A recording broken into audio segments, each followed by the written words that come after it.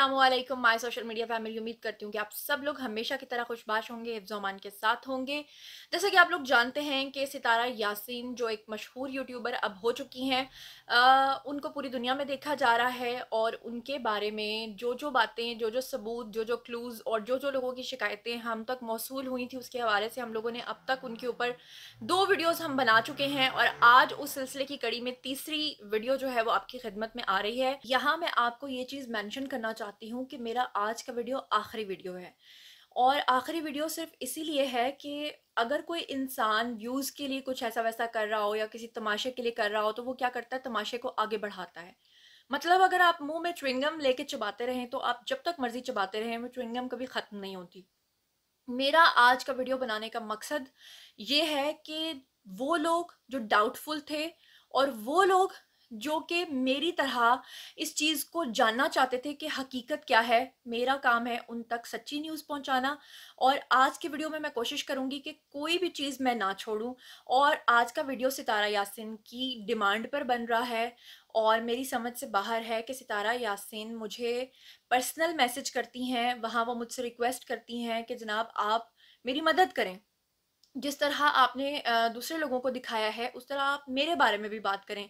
लेकिन जब वो लाइव आती हैं या जब वो वीडियो बनाती हैं तो वो पता नहीं किसकी हिदायत पे काम कर रही हैं कि फ़ौर सिंपथी के लिए वो रोने लगती हैं और सिंपथी लेते हुए वो लोगों को बताने लगती हैं कि कुछ लोग मुझे थ्रेट कर रहे हैं। लेकिन जैसे ही वो मैसेजेस में, यानी कि पर्सनल चैट में आती हैं, वहाँ वो मुझे अपनी बहन बना लेती हैं और वहाँ वो मुझसे मदद तलब करने लगती हैं। यहाँ एक वाक्य कोट करना चाहूँगी कि आप लोगों को अच्छे तरीके से याद होगा कि मीनार पाकिस्तान पे आयशा इकराम वाला जो वाक्य हुआ था, जिसमें एक खातून वहाँ टिकटॉकर जब पहुँची थी और पूरे मोब ने उसको घेर लिया था और उनके कपड़े फाड़ कर उनको बेहोश करके वहाँ फेंक दिया था तो सबसे पहले इसको मैंने कंडेम किया था। लेकिन मैं आपको यहाँ एक और चीज़ मैंशन कर, करूँ कि नो डाउट कि उस मोब ने उसके साथ बहुत बुरा किया था। लेकिन सबसे पहले जब आयशा इकराम की डिटेल्स मुझ तक पहुँची थी और जब मुझे ये पता चला था कि उनकी पर्सनल क्या हरकत थी और वो किस तरह के कामों में मुलविस रही थी, उसके बावजूद मैंने उनकी पर्सनल जो ये चीज़ें थी, ये लोगों को पहले नहीं बताई थी, बाद में जाकर बताई थी। जब सबको पता चल गया था, उस वक्त बताई थी, लेकिन पहले तक मैंने उनके पर्सनल फेल के बारे में कोई बात नहीं की थी। क्योंकि देखिए व्लॉग्स बनाना बुरी बात नहीं है। यूट्यूब के वीडियोस बनाना भी ओपन प्लेटफॉर्म है, कोई भी बना सकता है। लेकिन सिंपथी गेन करने के लिए झूठ बोलना और उसे मैन्यूपलेट करना या चीज़ों को या रियलिटीज़ को टेम्पर करना एक बहुत बड़ा क्राइम है। और यहाँ पर मैं एक चीज़ मेंशन करती चलूँ कि पूरी दुनिया से ओवरसीज़ पाकिस्तानियों से आयशा इकराम को भी बहुत ज़्यादा सिंपथी मिली थी। लेकिन वक्त ने साबित किया कि आयशा इकराम की हासिल की गई सिंपथी जो थी, वो पूरी कॉम को शर्मिंदा करवाने के लिए काफ़ी थी। इससे पहले मैंने जो वीडियोस बनाए थे उसमें जो कॉन्ट्रडिक्शंस थी उन पे मैंने बात की थी लेकिन उसके बावजूद मेरे जो आ, देखने वाले हैं पूरी दुनिया से उन सब लोगों ने मुझसे इस बात की रिक्वेस्ट की थी और पर्सनली भी बहुत सारे लोगों ने मुझसे ये रिक्वेस्ट की थी कि आप सोर्सेज के ऊपर बिलीव मत करें। आप लोगों की बताई हुई इन्फॉर्मेशन पे बिलीव मत करें, बल्कि आप खुद रिसर्च करें और देखें कि हकीकत क्या है, सच क्या है, कितनी हकीकत और कितना फसाना है। तो आज मैं ये समझती हूँ कि उस वक्त मुझे लगा कि हाँ लोगों ने बिल्कुल ठीक कहा है, बेहतरी की गुंजाइश हमेशा होती है और अब मैं आज अपनी मुकम्मल रिसर्च लेकर आपकी खिदमत में हाजिर हो गई एक चीज़ मैं मैंशन करती चलूँ कि आज के वीडियो में क्या क्या होगा? वीडियो थोड़ा सा लंबा हो सकता है, उसकी वजह यह है कि आज की वीडियो में बहुत से सबूत आपकी खिदमत में पेश करने हैं और वो तमाम सबूत देखने के बाद आप को कोई ऐसा सवाल आपके जहन में रह नहीं जाएगा कि जो आप सोचें कि हमें समझ नहीं आ रहा कि हम राइट में जाएँ या लेफ़्ट में जाएँ, हम सपोर्टर्स में जाएँ या हेटर्स में जाएँ। मेरी आप तमाम लोगों से रिक्वेस्ट है कि जो खुद को सपोर्टर समझते हैं, वो खुली आँखों, खुले दिल के साथ बात को सुने और समझें। और जो हेटर्स हैं, उनसे भी मेरी रिक्वेस्ट है कि आज ये सारा कच्चा चट्टा खोलने का मकसद किसी के ऊपर तनकीद करना हरगिज़ नहीं है, किसी को जदोकोब करना भी हरगिज़ नहीं है, किसी को ब्लैकमेल करना भी हरगिज़ नहीं है। बल्कि आज के वीडियो का मकसद जो है, वो सच्चाई को आप तक पहुंचाना है। इसीलिए जो कॉन्ट्रडिक्शन थी, उन पर मैंने बात की थी। लेकिन जब वहाँ पर लोगों ने देखा, उस वीडियो को तो उन्होंने मुझसे डिमांड किया कि आप जो है इसका पार्ट टू लाजमी बनाएँ। पार्ट टू मुझे बनाना पड़ा इसलिए कि उसमें एक इंटरव्यू किया मैंने एक जोड़े का, उसके ऊपर काफ़ी ज़्यादा लोगों ने तनकीद की, कुछ उनके सपोर्टर्स थे और कुछ हेटर्स थे। जिन लोगों ने इस चीज़ के बारे में तनकीद की कि आपने सितारा यासीन का इंटरव्यू क्यों नहीं लिया? आपने सितारा यासिन का नेरेटिव क्यों नहीं लिया? आपने सितारा यासिन से क्यों नहीं पूछा? जिन लोगों का आपने इंटरव्यू किया है, वो तो जनाब आली आपको बता रहे हैं, लेकिन सितारा यासिन से आपको पूछना चाहिए था या आपको उनके घर जाना चाहिए था। तो जनाब, चलिए मैं आज का कंटेंट आपको बता दूँ रन डाउन बता दूँ पूरे प्रोग्राम का कि आज के प्रोग्राम में क्या क्या चीज़ें एक्सपोज होने जा रही हैं। सबसे पहले मैं आपको ये बताऊँ कि एक खातून, क्योंकि अक्सर लोग मुझे ये भी पूछते हैं कि सितारा यासिन कौन है, क्योंकि सभी लोग जारी बात है उनको फॉलो नहीं कर रहे हैं, ज़्यादातर उनको इंडियंस फॉलो कर रहे हैं। और इंडियंस क्यों फॉलो कर रहे हैं? इंडियंस इसलिए फॉलो कर रहे हैं कि एक औरत जो कि मुसलमान है, पाकिस्तान से है और वो अचानक एक दिन यूट्यूब पर आती है और वो आकर लोगों को ये कहती है कि उसका शोहर बिना उसकी इजाज़त के खुफिया तौर पर निकाह करके आ चुका है और अब उसके पास सिवाय अपनी सौतन को कबूल करने के कोई दूसरा रास्ता नहीं बचा है। वो औरत ये बताती है कि उसके घर वाले उससे नाराज़ हो चुके हैं, उसका बाप उसके सर पर नहीं है और अब वो अकेली रह चुकी है। पाकिस्तान से जो लोग और जो मुस्लिम कंट्रीज़ से लोग उनको फॉलो करते थे, उन सब की सिंपति उस खातून के साथ हो जाती है। और इंडियंस उनको इसलिए सपोर्ट करते हैं क्योंकि उनको जगह जगह ये तनकीद का मौका मिलता है कि देखा, इस्लाम एक ऐसा मज़हब है जहाँ पर औरत को कोई तहफ़ नहीं मिलता। इस्लाम एक ऐसा मज़हब है जहाँ पर आदमी को चार चार शादियाँ करने की इजाज़त है। और पाकिस्तान एक ऐसा मुल्क है जहाँ पर औरत हमेशा मजलूम ही रहती है क्योंकि आपको पता है कि पिछले दिनों जी टी के ऊपर, यानी कि जी न्यूज़ के ऊपर बहुत ज़्यादा प्रोपोगंडा किया गया था। आदमियों का जो इस्लाम में चार शादियों के हवाले से। अच्छा यहाँ पर मैं बताती चलूँ कि आज की वीडियो में जो भी बात होगी सबूत के साथ होगी और ऑन रिकॉर्ड होगी। कोई भी बात जुबानी कलामी नहीं होगी। मिसाल के तौर पे मैं आप लोगों के सामने आ जाती हूँ और मैं कहती हूँ कि मेरा नाम तो गुड़िया है और आप कहते हैं कि नहीं जी आपका नाम तो जुनहरा महम है। लेकिन अगर आप मेरे डॉक्यूमेंट्स खोल के दे, देखते हैं तो आपको पता चलता है कि मेरा नाम कोई तीसरा नाम निकल आता है। तो आप किसकी बात मानेंगे? आप बात वो मानेंगे जो सबूत के तौर पर रिकॉर्ड ऑन रिकॉर्ड मौजूद है। इसीलिए मैं आज आपके साथ जो बात करूँगी वो सबूतों के हिसाब से बात करूँगी, क्योंकि ना तो आप मेरी बात का यकीन करिए और ना आप किसी दूसरे इंसान का यकीन करिए, ना आप सपोर्टर्स का यकीन करिए, ना आप हेटर्स का यकीन करिए।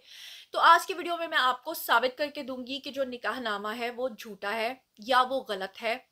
अच्छा यहाँ पर मैं एक बात मेंशन करती चलूँ कि हम किसी की नीयत पर कोई शक नहीं कर रहे, ना ही मैं सितारा यासिन के ऊपर कोई इल्ज़ाम लगा रही हूँ।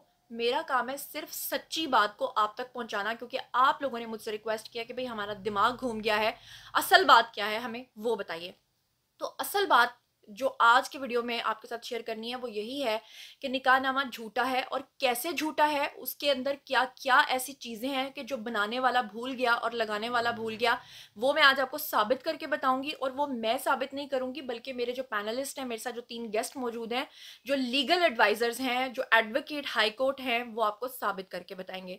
दूसरे नंबर पर जो मैंने आपको साबित करके बताना है कि वो जो खातून हैं, जिनको वो अपनी सौतन बताती हैं दरअसल वो खातून फिर कौन है और उनका नाम क्या है, ये मैं आपको बताऊँगी। आज के वीडियो में आपके 12 सवालों के मैंने जवाब देने हैं, जो कि मैंने यहाँ पर लिख के रखे हैं 12 सवाल, जो आप लोग जानना चाहते हैं। वो सारे सबूत के साथ मैं आपको बताऊँगी और आज ही के वीडियो में जनाब आली मैं आपको ये भी बताऊँगी कि जो शुएब और जवेरिया नाम का एक जोड़ा मेरे साथ शामिल हुआ था इंटरव्यू में, मैंने उनका इंटरव्यू क्यों लिया था और वो सच्चे थे या झूठे थे, मैंने इस चीज़ की तस्दीक क्यों नहीं की थी और आज के वीडियो में आपको इस बात का भी जवाब दूँगी कि मैंने सितारा यासीन का इंटरव्यू अब तक क्यों नहीं लिया और उनका नैरेटिव मैंने क्यों नहीं लिया?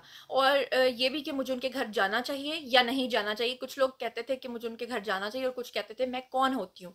अच्छा उससे पहले एक और इंपॉर्टेंट बात मैं आपको बताती चलूँ कि बहुत सारे लोगों ने मेरी तालीम पर और मेरी क्रेडिबिलिटी पर सवाल उठाया था। तो ये जो आज का वीडियो ये टोटली उनको उनकी सच्चाई आप तक पहुँचानी, क्योंकि मेरा काम है जी न्यूज़ आप तक पहुँचाना। तो मेरी क्या क्रेडिबिलिटी है, मेरी क्या क्वालिफिकेशन है, मैंने आज तक किसी चैनल के साथ काम किया है नहीं किया है। मैं सच बोल रही हूँ, मैं झूठ बोल रही हूँ, ये सब कुछ देखने के लिए आप जुनैरा महम बायोग्राफी लिखें। मेरे चैनल पर आपको वो मिल जाएगी। वहाँ पर आपको मेरी इच्छी बिच्ची मेरे बचपन से लेके बड़े होने तक का तमाम डाटा, तमाम रिकॉर्ड वहाँ पे मौजूद है तो वो आपको पता चल जाएगा। तो इसलिए आज के वीडियो में मुझ पे टाइम वेस्ट नहीं करते हैं। तो हमारे साथ आज तीन गेस्ट मौजूद होंगे। एडवोकेट, हाई कोर्ट हैं जनाब तारिक मंजूर चौधरी, उसके वेलकम सर। दूसरे हमारे साथ गेस्ट होंगे advocate Tanveer Khokhar, high court, federal Sharia court के। और तीसरे नंबर पे हमारे साथ जो गेस्ट हैं, वो हैं जनाब शफीक बलोच एडवोकेट हैं हाई कोर्ट के फौजदारी दीवानी और फैमिली केसेस जो हैं, उनके अंदर इनकी पंद्रह साल की प्रैक्टिस है। और, जनाब जी, अब हम शुरू करते हैं आज का वीडियो बकायदा तौर पे सबूतों के साथ। तो यहाँ पे मैं आपके सबसे पहले सवाल का जवाब देना चाहती हूँ, और पहला सवाल ये है कि मैंने उस जोड़े यानी कि शुएब और जवेरिया का इंटरव्यू क्यों किया? और मैंने जनाब अली सितारा यासिन जो हैं उनका इंटरव्यू क्यों नहीं किया और उनका नैरेटिव क्यों नहीं लिया? तो सबसे पहले मैं आपको बताऊँ कि हज़ारों की तादाद में हम तक शिकायत पहुँच रही थी और लोग सिर्फ़ और सिर्फ़ हमसे जानना चाहते थे कि आप हमें सच्ची खबर बताएँ कि असल में हकीकत है क्या सबूतों के साथ। तो हम लोगों ने जो पहला वीडियो बनाया, उसमें आपके सामने सिर्फ़ ज़राए का ज़िक्र किया क्योंकि हमेशा जो सहाफ़ी होता है, वो अपना सोर्स कभी किसी को रिवील नहीं करता। अच्छा यहाँ मैं आपको बताती चलूँ कि मैंने सबसे पहले स्क्रीन पे आ जाते हैं मेरे और सितारा की चैट के ऊपर आते हैं, क्योंकि सबूत के साथ मैंने आपको दिखाना है। अगर मैं आपको ऐसे ही ज़बानी कलामी बताऊँगी कि मेरी और सितारा की चैट हुई तो आप लोग यकीनन नहीं मानेंगे। तो ये सबसे पहले जो स्क्रीन के ऊपर आ रहा है कि जब इस जोड़े ने और इनके अलावा बहुत सारे यूट्यूबर्स ने मुझसे रबता किया था क्योंकि वो इस न्यूज़ के हवाले से जाना चाहते थे तो सबसे पहले आप देखें, क्योंकि बहुत सारे लोगों ने ये एतराज़ उठाया था कि मैं पहले सोई हुई थी और अचानक मैं जाग गई और फिर उसके बाद मैंने सितारा के ऊपर इल्ज़ाम लगाना शुरू कर दिए। तो आप ये देखिए कि सात अक्टूबर शाम सात बज के बीस मिनट पर सबसे पहले मैंने सितारा यासिन से रबता किया था, मैंने उनको मैसेजेस किए थे, उनको वॉइस नोट किया था। तो सितारा यासिन ने मेरे मैसेजेस देख लिए थे, लेकिन उन्होंने मेरा कोई जवाब नहीं दिया। उसके बाद बाईस अक्टूबर अक्टूबर को मैंने उनको फिर से एक वॉइस नोट किया था कि मैं आपसे इस हवाले से जानना चाहती हूँ। आपके पास आपका प्लेटफॉर्म ज़रूर मौजूद है। लेकिन क्योंकि हम आपके हवाले से न्यूज़ बना रहे हैं तो जर्नलिस्ट की जो एक ज़िम्मेदारी होती है, सहाफ़ती ज़िम्मेदारी होती है कि जिसके बारे में वो न्यूज़ होती है, आपने उससे एक बार ज़रूर पूछना होता है। यहाँ पर अगर वो सिर्फ़ एक मैसेज भी कर देती तस्दीक कर देती या तरदीद कर देती तो वो भी काफ़ी होता लेकिन उन्होंने ये करना मुनासिब नहीं समझा, इसलिए मैंने उनसे दोबारा रबता नहीं किया। फिर तीस अक्टूबर को दोबारा उनसे कॉन्टैक्ट किया, उन्होंने जवाब नहीं दिया। फिर मैंने उसके बाद उनको थर्सडे को, ये जो लास्ट थर्सडे गुजरा, इस पर मैंने उनसे फिर रबता किया, उन्होंने मेरे मैसेजेस रीड कर लिए, लेकिन उन्होंने मुझे जवाब नहीं दिया। फिर उसके बाद फाइनली जब मैंने उनसे ये कहा कि ठीक है, अब मैं आपके ऊपर जो है वो वीडियो बनाने लगी हूँ और अब आप मुझ पर कोई इतराज़ नहीं कर सकती हैं। और सबसे बड़ी बात ये कि आप जो लोगों को मिसलीड कर रही हैं, झूठ बोल रही हैं या फिर आप टेम्पर्ड निकानामा लोगों को दिखा रहे हैं आपके रिश्तेदार तो इस सूरत में आपके ऊपर जो है वो तो बड़े संगीन किस्म के इल्ज़ाम आयद होते हैं। उसके फ़ौर बाद जैसे ही उन्होंने मेरा मैसेज रीड किया, उनके एक जानने वाले जो हैं उन्होंने मुझे कांटेक्ट किया और उसके बाद सितारा यासिन अचानक एक्टिव हो गई। उसके बाद उन्होंने मुझे सलाम भेजा और सलाम भेजने के बाद उन्होंने मुझसे ये कहा कि आप दोनों साइड की सुनती हैं और मैंने आपकी वीडियोस भी देखी हैं और फिर वो कहती हैं कि जो इंसाफ आपने पहले किया है, जो आपने वीडियोस बनाए हैं तो मेरे साथ भी इंसाफ करें। यहाँ पर मैंने फिर से उनको यकीन दिलाया कि मैं आपके साथ ज़रूर इंसाफ करूँगी, आपकी आवाज़ बनूँगी, आपकी मदद करूँगी। अगर मेरी लीगल टीम की आपको ज़रूरत है तो वो भी आपके लिए हाजिर है। आप आइए हमारे प्लेटफॉर्म से बात कीजिए। लेकिन उसके बाद वो फिर से गायब हो गई और वो हमें इसी तरह एक हफ़्ते तक बेवकूफ़ मज़ीद बनाती रहीं। अच्छा जी तो यहाँ से आपको अंदाज़ा हो गया होगा कि मैंने सितारा यासिन से कितनी बार रिक्वेस्ट की कि वो काइंडली हमें सच बताएँ और जो भी वो बताना चाहती हैं, यकीनन उनके पास अपना प्लेटफॉर्म है, लेकिन वो हमारे प्लेटफॉर्म से भी लोगों को बता सकती हैं। अगर वो हमारी दी हुई न्यूज़ की तस्दीक या तरदीद करना चाहती हैं तो। दूसरे नंबर पे जो शुएब और जवेरिया थे, उनके पास बहुत से ऐसे सबूत थे, बहुत सी ऐसी चीज़ें थी जो उन्होंने हमारे साथ शेयर की थी। उसमें से कुछ ऐसे यूट्यूबर्स थे जो स्क्रीन पे नहीं आना चाहते थे। जो उनके गली मोहल्ले इलाके या इर्द गिर्द के लोग थे, वो स्क्रीन पर नहीं आना चाहते थे। वो सिर्फ़ हमसे बात करके इन्फॉर्मेशन हम तक पहुँचा रहे थे। लेकिन शुएब और जवेरिया जो थे, वो सामने आकर बात करना चाहते थे। इसीलिए हमने उनको ऑन स्क्रीन लिया और आप लोगों ने उनका नैरेटिव सुना। अब जनाब चलते हैं निकाहनामे की तरफ़ क्योंकि एक खातून आती हैं रातों रात और वो ज़रा अल्फाज पे गौर कीजिएगा कि वो कहती हैं कि मेरा जो शोहर है उसने बिना मुझे बताए निकाह कर लिया, वो खुफिया निकाह किया और जब वो खुफिया निकाह किया तो मुझे नहीं पता था और जब मुझे पता चला तो सिवाय उसको कबूल करने के मेरे पास कोई दूसरा रास्ता नहीं था, क्योंकि मैं अपने बच्चों को उनके बाप से दूर नहीं करना चाहती थी। बिल्कुल आप सब लोग जानते हैं कि ये बात हुई थी। अब मैंने आपको प्रूव करना है कि वो निकाहनामा जो सबूत के तौर पर दिखाया गया, क्या वो सच्चा है या वो डॉक्यूमेंट ही झूठा है? और ये हम जुबानी कलामी बात नहीं करेंगे कि सितारा साहिबा कह रही हैं कि जी वो सच्ची हैं। मैं कह रही हूँ कि जी वो झूठी हैं। आज जो हमारे साथ लीगल एडवाइजर्स हैं, वो हैं ही हमारे साथ। इसलिए कि एक वकील नहीं, दो वकील नहीं, हम तीन तीन वकला से पूछेंगे कि बताइए कि ये जो डॉक्यूमेंट दिखाया गया है, ये टेम्पर्ड है, झूठा है, गलत है या वाकई सच्चा ये निकाहनामा है? सबसे पहले मैं आपको बताती हूँ कि उसके अंदर क्या क्या प्रॉब्लम्स हैं ताकि जब वकला आपके साथ, हमारे गेस्ट जो बात करें, आपको समझ आ सके। अगर कोई शख्स दूसरी शादी करना चाहता है तो उसको जो पाकिस्तान का कानून है, उसके अकॉर्डिंगली दो शरात पूरी करनी पड़ती हैं या दो में से एक शर्त पूरी करनी पड़ती है। शर्त नंबर एक ये होती है कि या तो उन दोनों के बीच में तलाक हो चुकी हो, तभी वो शख्स दूसरी शादी कर सकता है, या फिर उसको अपनी पहली बीवी से इन रिटर्न इजाज़त लेनी पड़ती है। और सिर्फ़ अगर बीवी खाली इन रिटर्न इजाज़त दे दे, वो नहीं, बल्कि प्लस उसको यूनियन काउंसिल से जाकर एक सर्टिफिकेट लेना पड़ता है और वो सर्टिफिकेट लेकर वो निकाह खां को दिखाता है और निकाह खां उसको फिर निकाह नामे के साथ जोड़ता है और फिर उनकी शादी हो सकती है। लेकिन यहाँ पर आप लोगों को याद रखना पड़ेगा कि सितारा, यासिन या कोई भी ए बी सी डी खातून जो है, उनका ये क्लेम था कि जनाब अली, मेरे शोहर ने खुफिया निकाह किया था और मुझे पता नहीं था और जब मुझे उन्होंने बताया था तो मेरे पास सिवाय अपनी सौतन को कबूल करने के कोई भी रास्ता नहीं था। अगर कोई भी शख्स इस कानून को वायलेट करता है, तोड़ता है, क्योंकि बहुत सारे लोग ये कहेंगे कि आज से दस साल पहले हमारी शादी हुई थी और जनाब उस वक्त तो ये हुआ था, उस वक्त तो ये हुआ था तो मैं आप लोगों को बताती चलूँ कि ये कानून पाकिस्तान में नया पास हुआ है जो पिछले दो साल से चल रहा है, एक दो साल से या डेढ़ दो साल से चल रहा है। अगर इससे पहले आठ दस साल पहले या पाँच छः साल पहले या तीन चार साल पहले आपकी ज़िंदगियों में ऐसा हो चुका है तो आज के पाकिस्तान में ये नहीं हो रहा है। और ये नहीं हो सकता है, क्योंकि इस कानून के मुताबिक आपका जो निकाहनामा है वो वैलिड ही नहीं होता। वो नादरा में जाकर रजिस्टर ही नहीं होता और पाकिस्तान का कानून ऐसी किसी औरत को आपकी बीवी बनाता ही नहीं है, मानता ही नहीं है। और साथ ही साथ मैं ये बताती चलूँ कि अगर कोई इंसान इस कानून को तोड़ता है तो उसकी सज़ा जो है, वो पूरी एक साल उसको जेल काटनी पड़ती है, प्लस उसको पाँच लाख रुपए जुर्माना होता है। और अगर वो निकाह खां जो निकाह करवाता है, बिना ये चीज़ों को निकाहनामे के साथ अटैच किए, उसको भी सज़ा होती है। वो क्या क्या सज़ा होती है कितनी कितनी सज़ा होती है? एडवोकेट साहब हमारे साथ मौजूद हैं, हम उनसे पूछते हैं, वो हमें बताते हैं कि जनाब, अगर कोई शख्स अपनी बीवी के साथ अगर उसकी तलाक नहीं हुई हुई फिर वो शादी कर रहा है या अगर कोई शख्स जो है यूनियन काउंसिल से परमिशन सर्टिफिकेट लिए बगैर जा रहा है तो उसकी क्या कंडीशन होगी, उसको क्या सजा मिलेगी और कानून उसके बारे में क्या कहता है? उसके बाद में अगर आपको बताऊँ तो कौसर का जो रिकॉर्ड है वो हमने निकलवाया है।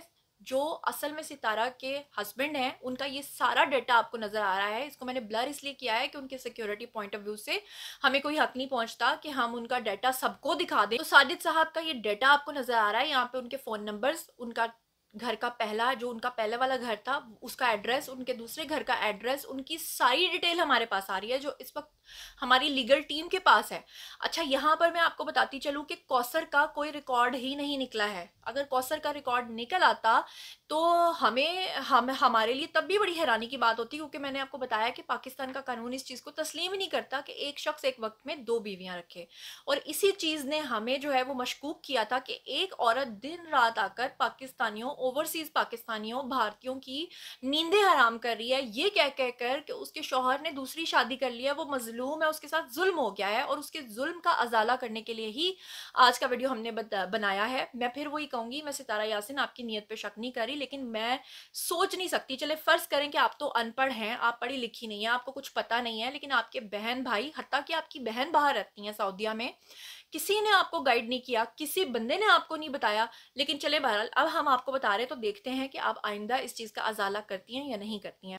यहाँ मैं आप लोगों को बताना चाहूँगी कि वो लोग जो इस बात का एतराज़ करते हैं कि जी आ, मेरी बात पे आपने यकीन नहीं करना। आपने किसी की बात पे यकीन नहीं करना। ए बी सी डी आपका किसी के साथ कोई नहीं है। आपके साथ मैं शेयर कर रही हूँ यहाँ सुप्रीम कोर्ट की जजमेंट आप ज़रा सुप्रीम कोर्ट की जजमेंट देखें कि ये जो बातें मैं कर रही हूँ, ये मैं खुद से कर रही हूँ या ये हमारा लॉ है? हमारा पाकिस्तान का कानून है। हमारे पाकिस्तान के कानून को कोई भी इंसान ए बी सी डी आकर यूँ सोशल मीडिया पे बदनाम नहीं कर सकता, गलत बयान नहीं दे सकता टेम्पर्ड निकाहनामा नहीं दिखा सकता, झूठा निकाहनामा बनाकर दिखाना एक बहुत बड़ा क्राइम है बहुत से यूट्यूबर्स ये कह रहे थे कि किसी का कोई हक नहीं कोई कोई भी व्लॉग बनाए। नहीं जी नहीं ऐसा नहीं होता।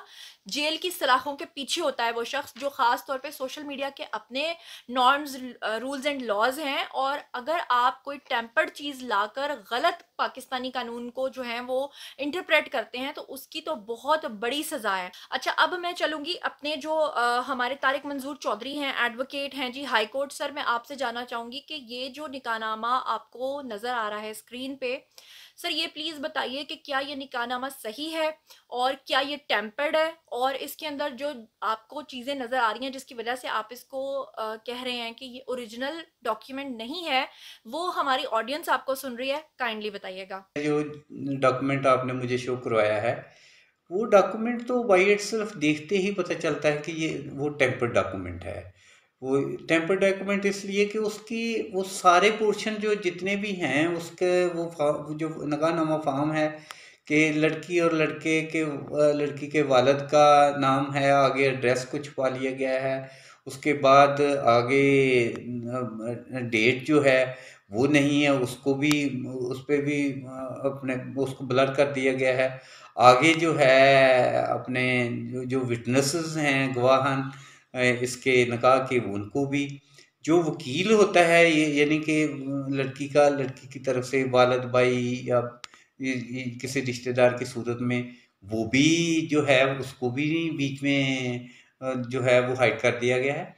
तो इस तरह से वो डॉक्यूमेंट देखते ही पता चल जाता है कि वो टेम्पर डॉक्यूमेंट है। और टेम्पर डॉक्यूमेंट की सज़ा जो है, वो तो आपको पता है कि चार सौ बीस, अड़सठ और इकहत्तर है और वो सात साल तक सज़ा है। Thank you so much sir आपने बताया। सर अब मैं आपसे जानना चाहूँगी तनवीर खोकर साहब आप भी अपना नैरेटिव दीजिए और शफीक बलोच साहब आप भी अपना नैरेटिव दीजिए। अउज़बिल्लिमिनशैतानरजीम बसमीम वालेकुम सुनहरा बहुत बहुत शुक्रिया अपने शो में बुलाने के लिए। जहाँ तक ये आप आपका क्वेश्चन है कि कोई भी बंदा फ़ेक डॉक्यूमेंट्स दिखाता है। फ़ेक डॉक्यूमेंट्स शो करता है आ, मीडिया पे या आ, अपने यूट्यूब पे या किसी भी आ, किसी भी सोशल मीडिया प्लेटफॉर्म पे अगर वो फेक डॉक्यूमेंट्स कोई भी शो करता है या फेक डॉक्यूमेंट्स यूज़ करता है तो उसका ये है कि अगर निकानामा है, निकानामा उसका फ़ेक फ़ेक है। तो उसके लिए मैं प्रोसीजर में तो नहीं जाऊँगा, लेकिन मैं आपको उसकी एक सब्सटेंटिव प्रोविजंस जो हैं, वो बाकायदा पीपीसी जो हमारा पिनल लॉ है, जो सब्सटेंटिव लॉ है, उसमें बाकायदा लिखी हुई है four twenty four sixty eight और फोर सेवेंटी वन। उसके तहत कोई भी डॉक्यूमेंट फोर्ज करना, फोर्जरी से रिलेटेड हैं वो। और, बेसिकली ये है कि आप कोई भी डॉक्यूमेंट ऐसा बनाते हैं, डॉक्यूमेंट आपने फोर्ज किया हुआ है, आपको पता होता है कि डॉक्यूमेंट्स जली है, लेकिन आप उसे असली बना के पेश करते हैं। असली बना के आगे यूज़ करते हैं। तो इसमें जो है बाकायदा, इसमें भी एक लॉ बना हुआ है जी, दो बातें हो सकती हैं। या तो ये टेम्पर्ड है, या अगर ठीक है तो फिर भी गैर कानूनी है। इसका कोई वजूद कानून में दस्तियाब ही नहीं है कि एक भी बंदा शादीशुदा है और बीवी का ज़िक्र भी हो रहा है और इजाज़तनामा भी नहीं है और शादी भी हो रही है। ये हो ही नहीं सकता, कानून में कहीं भी नहीं है। सर, मेरा आप तीनों से सवाल है। आप तीनों में से जो जो आंसर देना चाहे, प्लीज़ बताएँ कि क्या पाकिस्तानी कानून इस चीज़ की इजाज़त देता है कि एक आदमी की पहले बीवी मौजूद हो और उस बीवी को बिना बताए खुफिया तौर पे वो दूसरी औरत से शादी कर ले अनटिल के यूनियन काउंसिल में दूसरे जा दोनों जाकर वहाँ से नब्बे दिन का इंतज़ार करने के बाद वहाँ से सर्टिफिकेट ना लें और जब तक पहली औरत को तलाक ना दी जाए। तो क्या ऐसा पॉसिबल है कि एक वक्त में दो बीवियाँ मौजूद हों?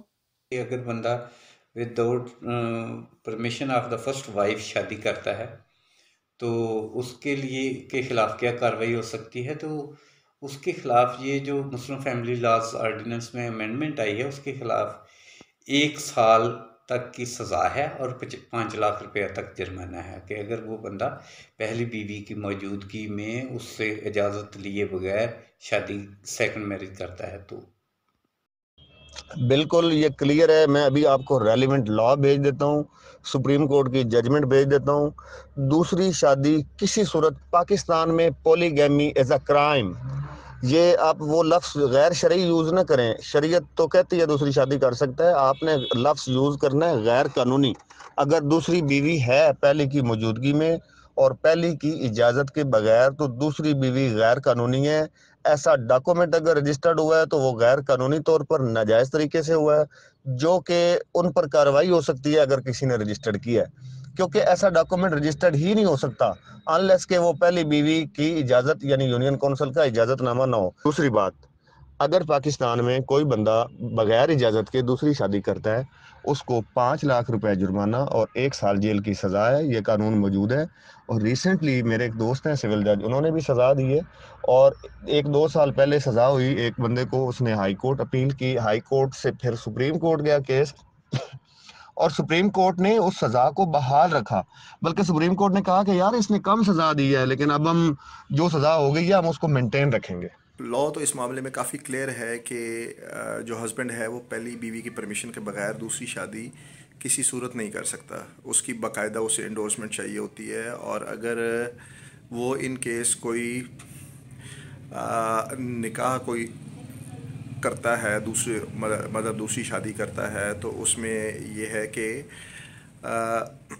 उसको पिनलाइज़ किया जा सकता है पाकिस्तान में जो मुस्लिम फैमिली लॉज हैं उनके तहत और जो है ये हमारे पिनल लॉज के तहत भी उसे पिनलाइज़ किया जा सकता है। और उसके लिए जो एक प्रूफ चाहिए होता है, वो प्रूफ जस्ट ये होता है कि आप किसी भी बंदे को पाकिस्तानी कोर्ट्स में या पाकिस्तान क्रिमिनल जस्टिस सिस्टम के तहत उसको पिनलाइज करने के लिए जस्ट उसके दो निकानामे रिक्वायर्ड होते हैं। अगर दो निकानामे आप प्रोवाइड कर देते हैं तो उसमें यह है कि वो सफिशेंट होता है कि ये जो बंदा है, इसने क्राइम कमिट किया है। उसमें बाकायदा अरेस्ट भी होती है और वो बंदा बाकायदा जेल भी जाता है और उसमें बाकायदा उसको जो है ट्रायल उसका होता है। ट्रायल के बाद उसको एक बाकायदा जो सज़ा है, वो दी जाती है। अच्छा सर, यहाँ पर एक और कन्फ्यूज़न है कि कुछ लोगों के बारे में मुझे पता चला है। ये मैं अपने लिए जानना चाहती हूँ। लोग भी सुन रहे हैं, वो भी जानना चाहते हैं कि बाज़ दफ़ा ऐसा होता है कि आदमी ने क्योंकि हो सकता है ये सामने वालों की तरफ़ से जनाब एक बयान आए तो इससे पहले ही मैं आपको क्लैरिफाई कर दूँ कि बाज़ दफ़ा ऐसा होता है कि कोई शख्स अगर दूसरी शादी करना चाहता है तो वो टेम्परेरी तलाक देता है पहली बीवी को और उसके बाद दूसरी से शादी कर लेता है और दूसरी से शादी करने के बाद जिसे पहले वाली को टेम्परेरी तलाक दी होती है, वापस उसके साथ शादी कर लेता है। लेकिन अगर वो वापस उसके साथ शादी कर लेता है तो फिर दूसरी वाली की क्या हैसियत रह जाती है? क्योंकि पाकिस्तानी कानून के मुताबिक एक बीवी एक वक्त में रह सकती है, दूसरी रह ही नहीं सकती है। दूसरी को तलाक लेना लाजमी है तो इस बारे में ज़रा काइंडली गाइड कीजिएगा। नहीं, ये चालाकी लोग, कुछ लोग करते थे, लेकिन वो काम नहीं आ सकती। उसकी वजह कि पहली बीवी को टेम्परेरी तलाक नहीं हो सकती। पहली बीवी की तलाक फाइनल होगी यूनियन काउंसिल सर्टिफिकेट देगा तो दूसरी शादी रजिस्टर्ड होगी। अदरवाइज़ नहीं होगी। हाँ अगर दूसरी शादी रजिस्टर्ड हो गई, पहली की फाइनल तलाक हो गई तो अब दोबारा पहली से करना है तो फिर यही कानून लागू हो जाएगा। या तो ये जो उसने दूसरी शादी की थी, यानी जो उसकी करंट वाइफ है, अगर वो परमिशन देगी तो वो सबका बीवी से कर सकता है। रजू की फिर गुंजाइश नहीं है। फिर सेकंड मैरिज होगी, निकाह होगा, उसको जदीद निकाह हम कहते हैं।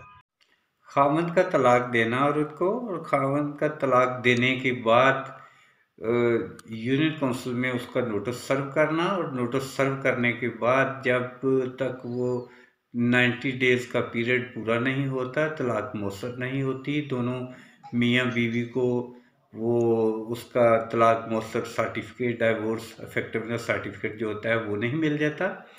तब तक ना बंदा शादी दूसरी कर सकता है, अगली शादी कर सकता है, ना ही औरत अगली शादी कर सकती है। दोनों का ये मैंडेटरी प्रवीण अखला है कि दोनों का, के पास अब नया सर्टिफिकेट होना ज़रूरी है। जब तक नया सर्टिफिकेट नहीं होगा तलाक मौसर का तो तब तक वो सेकंड अगला नकार जो है वो नहीं कर सकेंगे। ना औरत कर सकेगी, ना मर्द कर सकेगा, ये क्लैरिफाई किया आप अच्छा सर, ये चीज़ भी प्लीज़ क्लैरिफाई करें कि आपने जैसे कि मैंने ये बात बताई है कि अगर लोग दूसरी शादी छुप छुपा के कर लेते हैं, क्योंकि हो सकता है कि हमारे जो सुनने वाले लिसनर्स हैं वो ये पॉइंट आउट करें इस चीज़ को कि अक्सर लोग छुपा के शादी कर लेते हैं। तो छुपा कर जब वो शादी करते हैं तो वो निकाहनामे के ऊपर खुद को कंवारा शो करते हैं। लेकिन ये निकाहनामा जो आप देख रहे हैं, इसके ऊपर बाकायदा शादीशुदा लिखा गया है और वहाँ पर मेंशन किया गया है कि जो उनकी वाइफ हैं, उनके इतने बच्चे भी हैं। तो बनाने वाला इतनी बड़ी बेवकूफ़ी कर गया है, जिसने इस जाली निकाहनामे को तैयार किया है। प्लीज़ इस बारे में ज़रा रोशनी डालिए। अगर निकाह नामे के ऊपर लिखा हो कि ये बंदा शादीशुदा है तो किसी सूरत निकाह नहीं हो सकता। एक ही सूरत में हो सकता है कि यूनियन काउंसिल का दिया गया इजाज़तनामा, यानी जहाँ बीवी भी यूनियन काउंसिल में पेश होती है यूनियन काउंसिल का दिया गया इजाज़तनामा, उसकी अटेस्टेड कापी साथ ना लगी हो तो निकाह नहीं हो सकता। और अगर कोई पढ़ा दे दैट इज़ इलीगल तो उस निकाह खान को भी फिर सज़ा हो सकती है। अच्छा यहाँ पे बात सिर्फ़ सितारा यासिन की नहीं है, उन तमाम औरतों की है जो ये समझती हैं या वो नेग्लिजेंस की वजह से या उनको पता नहीं चलता कि जनाब उनके शोहरों ने शादी कर ली जो कि पॉसिबल नहीं है। क्योंकि जब पाकिस्तानी लॉ ही इस चीज़ को नहीं मानता, पाकिस्तानी लॉ इसको रजिस्टर ही नहीं करता, नादरा उसे कबूल ही नहीं करता और उस शादी को माना ही नहीं जाता, उस शादी को कोई हैसियत ही नहीं होती तो कोई कैसे इस तरह का निकाह कर सकता है? और कोई किस तरह इतना इतना जहलाना किस्म का निकाहनामा बना सकता है? सर, आप तीनों का शुक्रिया कि आप लोगों ने अपनी लीगल एडवाइस दी, क्योंकि मैं नहीं चाहती चाहती कि मैं लोगों को वो इन्फॉर्मेशन दूँ कि कल को कोई मुझसे पूछे कि भाई, आप ये इन्फॉर्मेशन दे रही हैं। ये मैंने आपको लीगल एडवाइस दी है और इस व्लॉग को बनाने के लिए तीनों पैनलिस्ट को यहाँ पर लाना और आप लोगों के साथ बात करवाना बहुत ज़रूरी था। और सबसे बड़ा मकसद मेरा ये था कि इस दुनिया में बहुत सारी ऐसी औरतें हैं जो इस तरह के व्लॉग्स बना रही हैं, ख़ासतौर पर सितारा यासिन के इस नए ट्रेंड को शुरू करने के बाद। आपने देखा होगा यूट्यूब के ऊपर लोग एक दूसरे को अब्यूजिव लैंग्वेज इस्तेमाल कर रहे हैं, एक दूसरे के खिलाफ वीडियोज़ बना रहे हैं, जो कि एक बहुत बड़ा नॉन बेलेबल ऑफेंस है, बहुत बड़ा क्राइम है, उस पर उनको सजा हो सकती है, उनके चैनल्स बंद हो सकते हैं। उससे भी बड़ी बात यह है कि बहुत सारे लोग आकर अब अपनी अपनी दो दो तीन तीन शादियों को रिवील कर रहे हैं, जो कि पाकिस्तान के कानून में गुंजाइश ही नहीं है।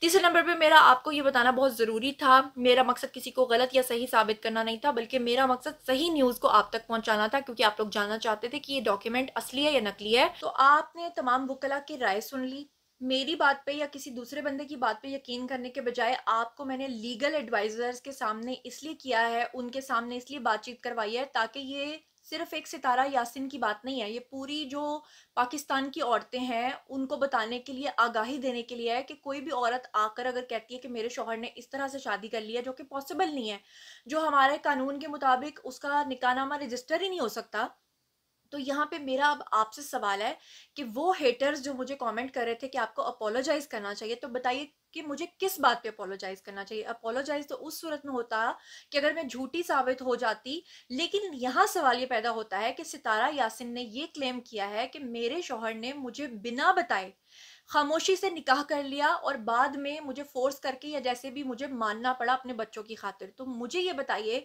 कि जब गवर्नमेंट ऑफ़ पाकिस्तान जब नादरा इस निकाह को ही नहीं मानता, अगर कोई हुआ है तो फर्जी, जो कि मेरी नज़र में तो हुआ ही नहीं है, लेकिन मैं ये जानना चाहती हूँ, आप लोगों से मेरा सवाल है ऑडियंस से मेरा सवाल है कि जो निकाह गवर्नमेंट ऑफ़ पाकिस्तान नहीं मानती, पाकिस्तान का कानून नहीं मानता तो एक औरत कैसे आकर आप लोगों को कह सकती है कि जी मेरी तो मेरे तो शोहर की दो बीवियाँ हैं, बताइए। उम्मीद करती हूँ कि मेरी रिसर्च मेरे दिए हुए ये बारह सबूत और हमारे तीनों पैनलिस्ट आप लोगों की उन्होंने काफ़ी मदद की होगी क्योंकि दिन रात जो लोगों को नींद नहीं आ रही थी, लोगों को समझ नहीं आ रहा था, सच कौन बोल रहा है, झूठ कौन बोल रहा है, सब चीज़ें सबूतों के साथ विद रिकॉर्ड आपके सामने आ गई हैं। सुप्रीम कोर्ट का जो ऑर्डर है, वो भी आप लोगों ने देख लिया है। हाई कोर्ट का जो ऑर्डर है, वो भी आप लोगों ने देख लिया है। तीनों वकला हमारे जो हैं, उन्होंने आपको लीगली बताया है, कानून के मुताबिक बताया है और कानून के मुताबिक ही आपको साबित करके बताया है कि ये जो डॉक्यूमेंट आपको दिखाया गया है, ये टेम्पर्ड है और टेम्पर्ड चीज़ चीज़ों का जो कानून होता है, उसमें क्या सज़ा होती है, ये भी आपको बताया है। अब्यूजिव लैंग्वेज की क्या सज़ा होती है, वो भी आपको बताई है तो उम्मीद करती हूँ कि आज का वीडियो आपको पसंद आया होगा। साथ ही साथ मैं आपको बताऊँ कि मेरा किसी के साथ कोई मुकाबला नहीं है। हर इंसान को राइट है कि वो यूट्यूब के ऊपर आए और अपने डेली व्लॉग्स शेयर करे। डेली व्लॉग्स बनाए, हमें कोई एतराज़ नहीं, लेकिन गलत इन्फॉर्मेशन अब्यूजिव लैंग्वेज और टेम्पर्ड डॉक्यूमेंट्स दिखाना एक बहुत बड़ा क्राइम है, ये मत कीजिए। और उम्मीद करती हूँ कि मेरी ये काविश आपको पसंद आई होगी। चैनल को सब्सक्राइब करना हरगिज़ मत भूलिएगा, अपना बहुत ख्याल रखिएगा। अल्लाह ने